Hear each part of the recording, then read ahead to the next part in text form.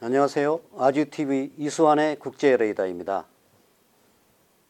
사우디아라비아가 국영 석유업체 아람코의 기업 공개 계획을 사실상 초래한 것으로 알려지고 있습니다.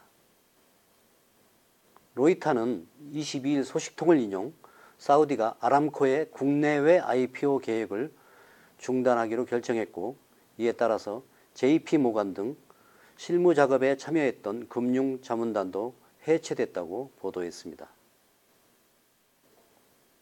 이에 대해 사우디 정부는 아람코의 상장은 최적의 조건일 때 우리가 택하는 시기에 이루어질, 이루어질 것이다 라면서 로이타의 보도가 사실이 아니라고 부인했습니다.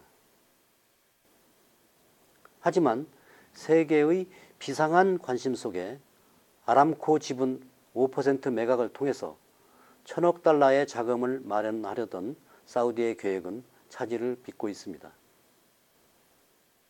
그동안 뉴욕과 런던, 홍콩, 도쿄 등 세계 주요 증권 거래소는 아람코 IPO 유치를 위해서 각종 인센티브를 발표하는 등 치열한 경쟁을 벌이고 있었습니다.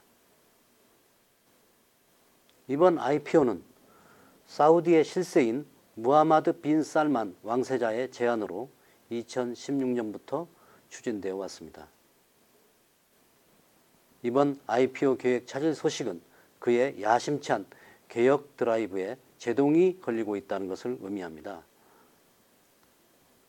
그가 표방한 소위 비전 2030 프로젝트는 원유에 집중된 사우디 경제의 성장 동력을 다변화해서 사우디를 글로벌 투자 대국으로 변모시킨다는 것입니다.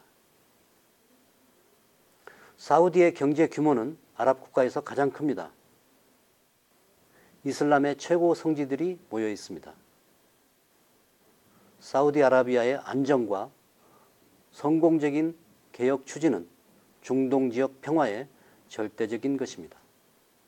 아주경제 글로벌 에디터 이수환이었습니다. 감사합니다.